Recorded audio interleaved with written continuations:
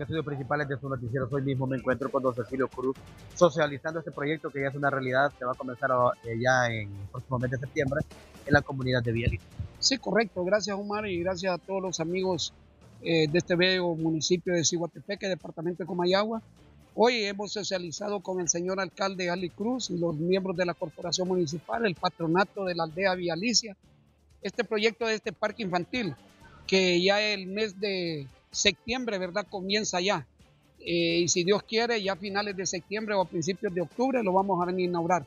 Es una realidad ya, ya comenzamos todas las socializaciones que estamos haciendo. Eh, después de aquí nos vamos a trasladar al municipio de Cane, departamento de La Paz. En horas de la tarde vamos a socializar también otro proyecto ahí con el señor alcalde. Y el viernes, mañana viernes, vamos a estar en La Paz, La Paz también socializando otro proyecto. ¿Viste qué número de parques? Son 70 ya son 70. Eh, y si Dios quiere, yo creo que vamos a llegar a unos 100 este año, ¿verdad? Gracias, don Cecilio Cruz, quien es el director de Parques y Recreación a nivel nacional, con esta muy buena noticia para Chihuatepeque. Eh, se va a inaugurar, o se va a iniciar, perdón, un parque en la aldea Bielice. Compañero, yo regreso con ustedes a través de Noticieros, hoy mismo periodismo completamente en vivo.